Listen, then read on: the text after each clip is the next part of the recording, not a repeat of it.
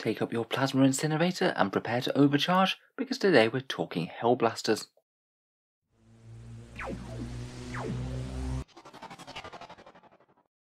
Hello and welcome back to Auspex Tactics, the strategy focused 40k channel, where we're all about getting the most out of our miniatures on the tabletop. In today's video, we're going to be focusing on the Primaris with the huge plasma guns, talking tactics for the Primaris Hellblaster squad, with a look over their datasheet, talking about their damage output and overcharging, all the buffs and synergies to get more out of them on the table, and how they stack up against a couple of competitors. In the background, the Hellblasters are made up of the Primaris' finest marksmen, plugging away with incredibly accurate plasma fire as they annihilate their foes with the power of the heart of a star. Supposedly, in the lore, they only overcharge their plasma guns in the direst of circumstances, as probably you don't want all that superhuman muscle get scorched by its own plasma gun. Though I do suspect that the average Hellblaster squad, when played on the table, probably isn't quite so lucky in their commander's restraint. I'm not sure it's a squad that I'd like to serve in in a Primaris army. In any case, let's see what these guys can do on the tabletop with a look over their datasheet. So here we have the rules for the latest version of the Hellblaster squad. They're a heavy support choice for Codex Space Marines, and they cost you 33 points per model now, no matter which sort of plasma incinerator you equip them with. You can get really quite big squads of Hellblasters with anything up to 10 men, and each one is armed with a bolt pistol, plasma incinerator, and frag and crack grenades. They have pretty much the standard Primaris stat line, movement 6, toughness 4, 2 wounds, 2 attacks, and a 3 plus armor save.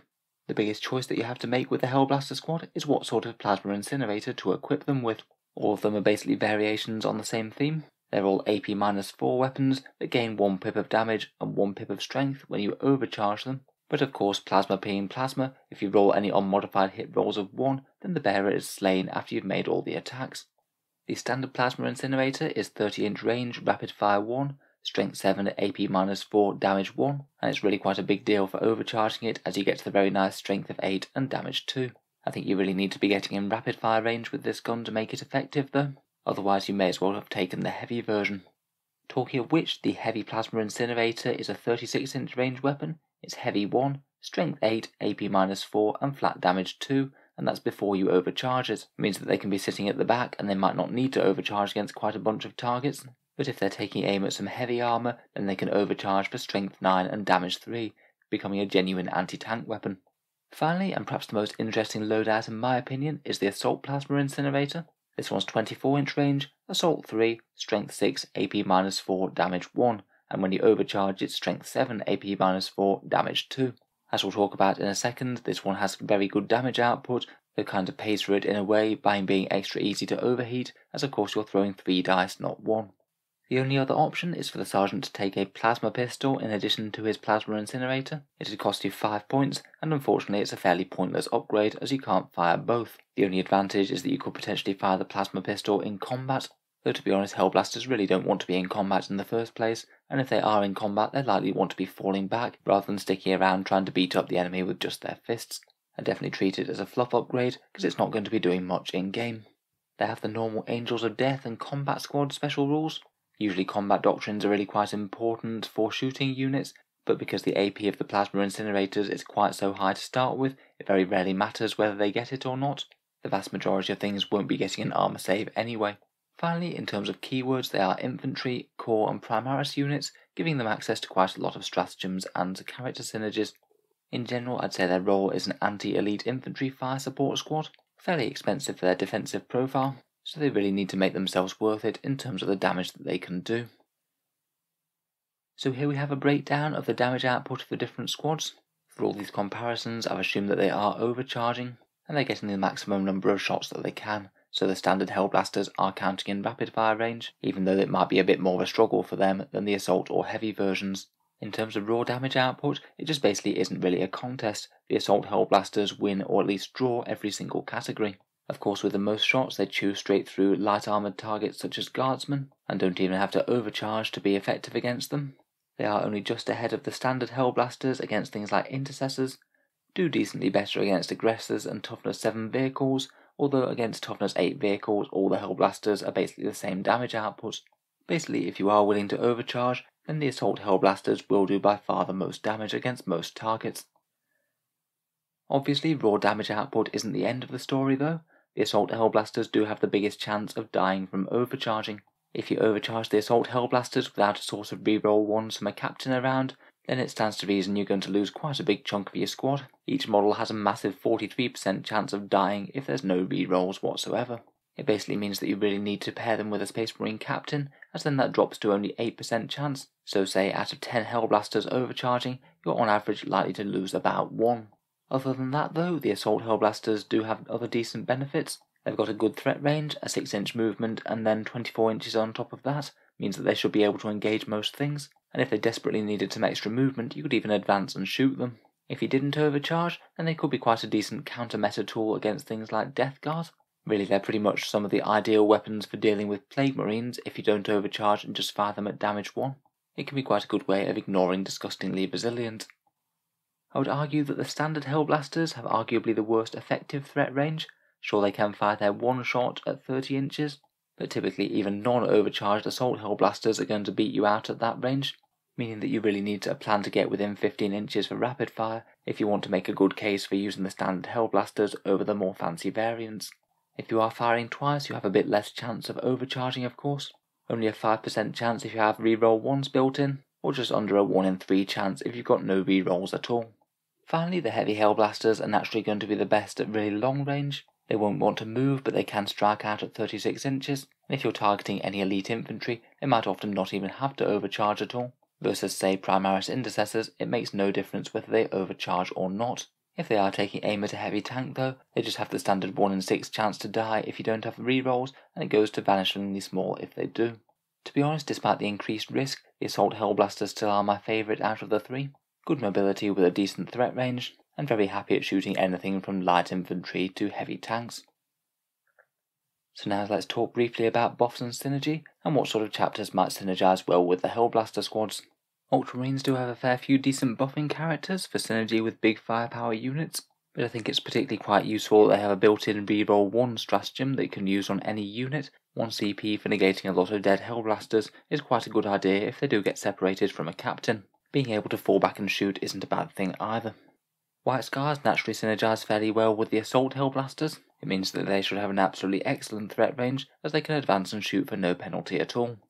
Raven Guard might be able to deliver them into battle a little bit easier, being able to put them in deep strike for just 1 CP, and when they get there they should be extra nasty to remove when in cover, either being minus 1 to hit or getting light cover when they're at long range. Iron Hands are a bit more durable, plus they work quite well with the heavy Hellblasters turn 1, they'll be able to move and shoot for no penalty, and also get native reroll ones, always good if you're wanting to overcharge. Salamander's rerolling one wound roll a turn is pretty handy, plus they have a plus one to wound stratagem in Crucible of Battle. That one could be very good on the Assault Hellblasters and their relatively low strength. Imperial Fist can get a little bit of extra damage on those heavy Hellblasters if they need to. In theory, having damage 4 heavy Hellblasters turn 1 could be quite fun, plus the Tank Hunter's stratagem can be pretty good against hard targets.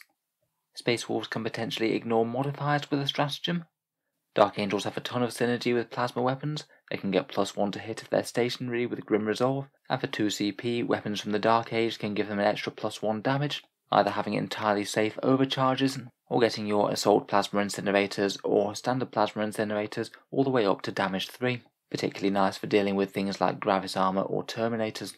Finally, Deathwatch do have a fair few tricks. Their Hellblasters can have objectives secured by including them as part of a kill team, Again, they can deep strike them with their teleportarium, and they have quite a few stratagems for buffing infantry, and things for giving them 5 plus invuls or 5 plus feel no pains. Quite a lot of close range shooting competition though in the Deathwatch army.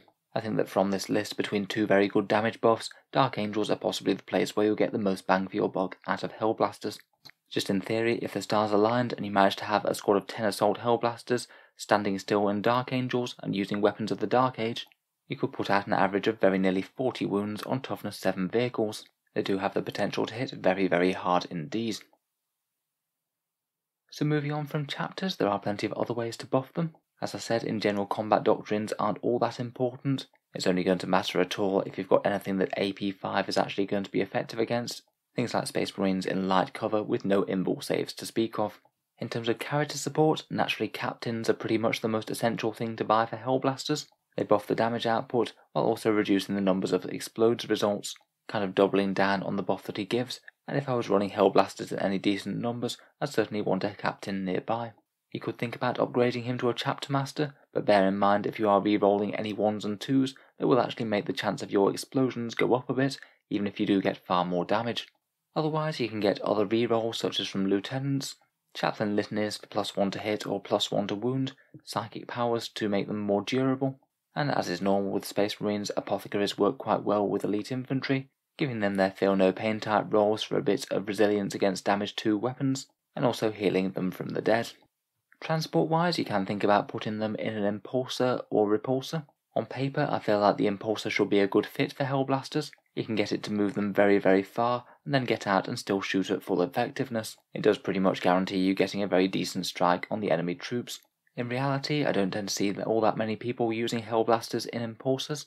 I think it might just be because they don't want to necessarily be really, really close to the enemy army, as they're just going to get shot down and charged if they are. Plus, impulsors themselves are really quite pricey in terms of points, and it's hard just not to take a fair few more Hellblasters for the investment that that could bring. I'd say they're kind of take or leave for me, perhaps best if you want to run the standard Hellblasters, as they really want to be getting up close and into rapid fire range. In terms of stratagems, they do have quite a few options, though I think that the only ones that you're normally going to use are Transhuman Physiology and Auspex Scan. Transhuman is really quite efficient on anything toughness 4, as they might have been wounded on 2s by various weapons already. And Auspex Scan can basically mean that your opponent just can't put any troops down anywhere near your Hellblasters unless they want them to be fried by plasma fire. In general, out of these, I'd say a captain's near enough mandatory, which to be honest I would say is probably a weakness of the Hellblasters, as plenty of other units can function really quite well without support characters. Hellblasters just need him to keep them safe from their over and over charges. So how would I use Hellblasters in-game myself then? I think the two main alternatives are either to try and use them as a gun line for heavy support with those heavy Hellblasters, or to try and push them up the board as an anti-elite infantry unit, using either the standard or assault variants. If I was using heavy Hellblasters, I'd hunker ideally in cover on a home field objective, try and avoid the opponent getting the first shot on them, even if it means setting up inside cover and then moving to engage them. Taking a minus one to hit penalty is better than just having your expensive squad dead.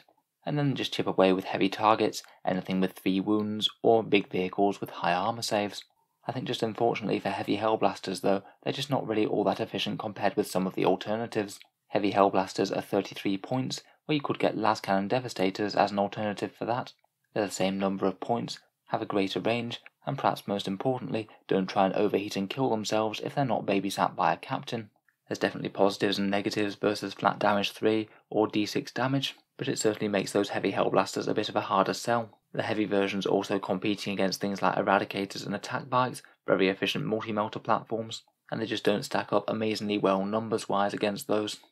For me, if I was going to be using Hellblasters, I'd be far more tempted to use an aggressive squad of Assault Hellblasters, ideally starting on a board with a captain nearby, and ideally in cover or out of line of sight.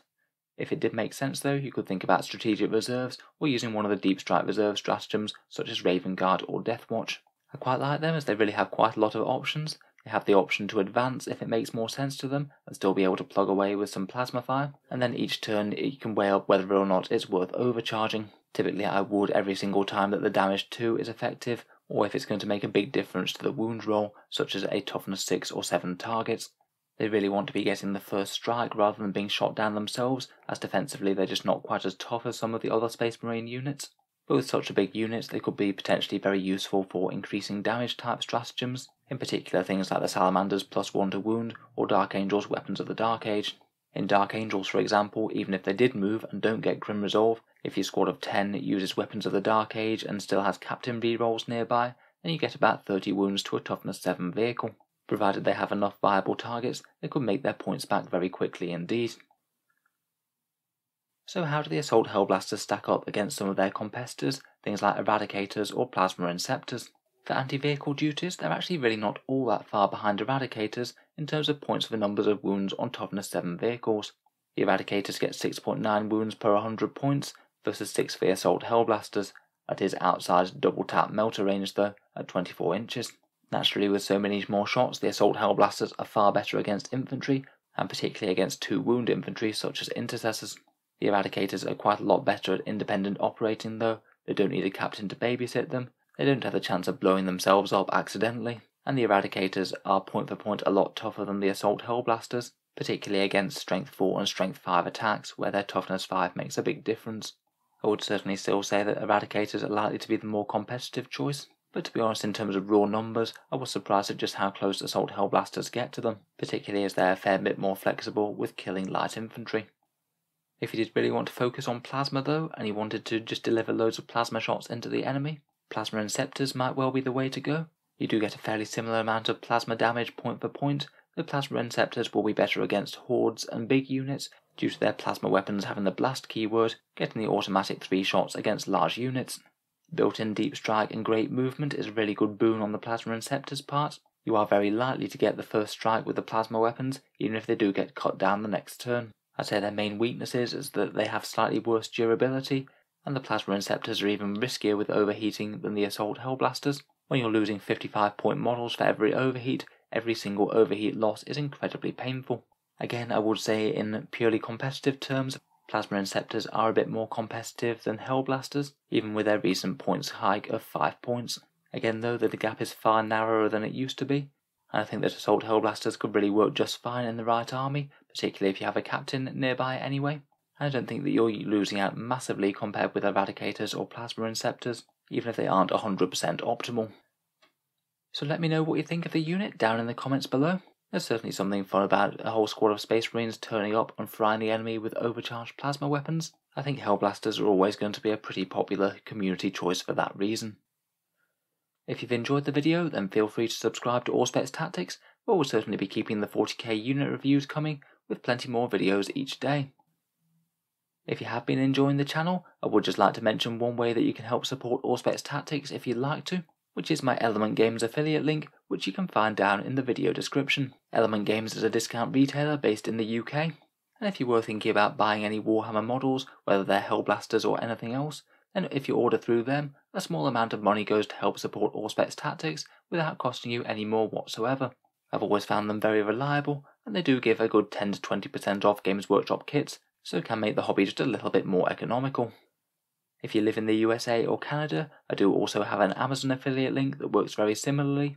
Again, if you buy literally anything off Amazon after clicking on that, a small amount of money goes to help support the channel while not costing you any more whatsoever. A massive thank you to you guys who have been using those links, it really does make a difference. In any case, a really big thank you for listening, and I'll hope to see you guys next time.